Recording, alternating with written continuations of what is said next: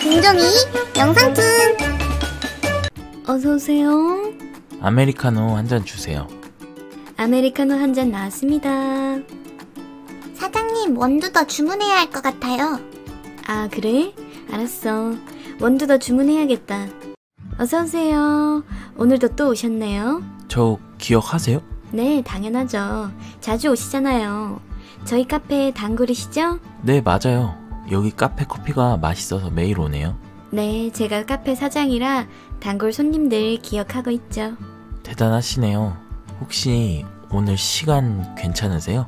제 남자친구는 제가 운영하는 카페에 자주 오던 단골 손님이었어요. 저희는 데이트를 하며 연인 사이로 발전했어요. 자기는 세상에서 가장 아름다워. 내가 뭐가 아름다워. 이렇게 나이도 많아서 주름도 자글자글한데.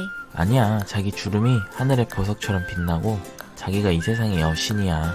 근데 나 고민이 있어. 뭔데? 말해봐, 우리 베이비. 자기 어머님 연세가 어떻게 되셔? 음, 50세이셔. 음, 그럼 나보다 10살이나 어리시네. 어떡하지? 괜찮아. 내가 사랑하는 여자라고 하면 우리 어머니도 당연히 이해해 주실 거야. 그런 건 걱정하지 마. 자기야, 나 왔어. 여긴 어쩐 일이야? 난 돈도 없고 차도 없고 집도 없어. 하지만 이 꽃 한 송이는 있어. 나랑 결혼해 줄래? 자기야, 감동이야. 좋아, 결혼하자. 어서 와 아니 어서 오세요 어머니, 저랑 몬드 씨랑 결혼 허락해 주세요. 아니 네? 나이를 들어보니 60세라고 하던데 우리 아들이 25인데 엄마, 나이는 숫자에 불과해. 우리 35살 차이 나도 사랑으로 극복할 수 있어. 저희는 어렵게 어머니에게도 결혼 허락을 받았어요.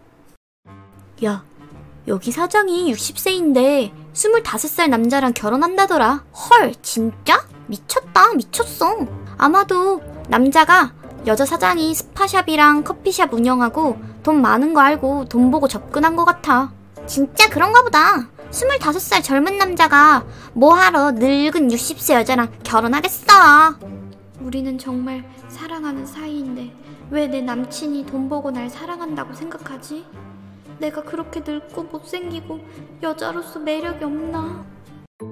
자기야, 나 성형할 거야. 뭐, 무슨 소리야? 결혼식 앞두고 갑자기 성형이라니. 이미 병원 예약했어. 나 말리지 마. 자기에게 더 완벽하고 어울리는 이쁜 여자가 되고 싶어. 난 자기 지금도 충분히 아름답고 이뻐. 제발 성형하지 마. 남친의 만류에도 저는 성형을 했어요. 거의 전신 성형이라고 할 만큼 엄청나게 크게 성형을 진행하였어요. 나이도 있어서 병원에서 한 번의 성형을 크게 하는 걸 알렸지만 전 완벽한 결혼식을 올리고 싶었어요. 대박 엄청 이뻐졌잖아 뭐야 신부 바뀐 거 아니야? 얼굴이 왜 이렇게 젊어진 거야? 비법이 뭐야 마법 같아 다들 이쁘다고 난리네. 당연하지. 이렇게 이뻐지려고 1억을 투자했어. 저는 코, 윤곽, 지방흡입, 눈 등 전신을 성형하였어요. 정확히 1억이 들었죠. 자기야, 이렇게 자기랑 행복한 결혼식 올려서 행복하다. 정말 우리 앞으로 행복하게 살자. 그래, 자기야. 우리 행복하게 오래오래 살자. 내가 이뻐져서 어때? 원래 얼굴이 그립지만 지금도 너무 아름답고 이뻐. 지금 성형한 얼굴이 더 이쁘다고 생각하면서 흥! 내가 좀 이뻐지긴 했지. 대체 비법이 뭐야? 왜 이렇게 이뻐진 거야? 응? 어디서 성형한 거야? 나도 알려줘. 성형한다고 다 이뻐지는 줄 알아? 1억이나 들었다고. 1억? 대박!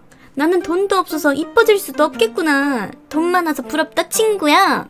돈 모아서 성형해. 새롭게 20대로 태어난 기분이야.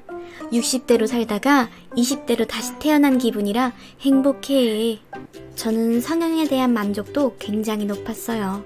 주변에서도 제가 이뻐지고 아름다워졌고, 제 나이가 60인데 25세 남편과 결혼하는 게 기사랑 뉴스에도 실렸어요. 저랑 남편은 3년 넘게 결혼 생활을 이어오고 있어요.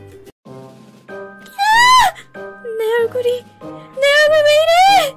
왜, 왜, 왜? 무슨 일이야, 자기야? 내 이쁜 내 이쁜 얼굴이 이상해졌어.